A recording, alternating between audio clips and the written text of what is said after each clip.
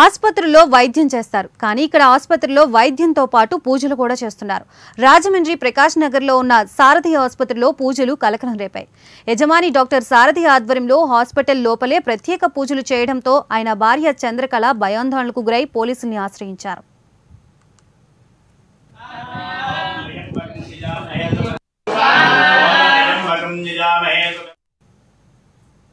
దశమహావిద్య ధూమావతి ప్రత్యంగిర చిన చినమస్తా అనే తాంత్రిక పూజలు ఆసుపత్రిలో చేస్తున్నట్లు చంద్రకళ చెబుతున్నారు. అయితే అలాంటివేవీ కాదని సాధారణంగా హోమం పూజలు చేశామని డాక్టర్ సారథి తెలిపారు. ఆసుపత్రిలో రోగులు ఉన్నప్పుడు డాక్టర్లు ఇలాంటి పూజలు చేయకూడదని ఆయన భార్య చంద్రకళ అభ్యంతరం వ్యక్తం చేశారు. మోహే మోహే నమః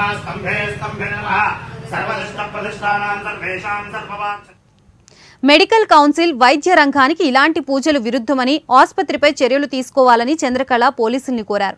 కాగా హాస్పిటల్లో పనిచేసే సిబ్బంది చనిపోవడంతో పూజలు చేశామని పూజారులు తెలిపారు. అయితే గత కొంతకాలంగా హాస్పిటల్ వ్యవహారంపై భార్యాభర్తల మధ్య నెలకొన్న మనస్పర్ధల కారణంగా ఈ వివాదం రాజుకున్నట్లు తెలుస్తోంది.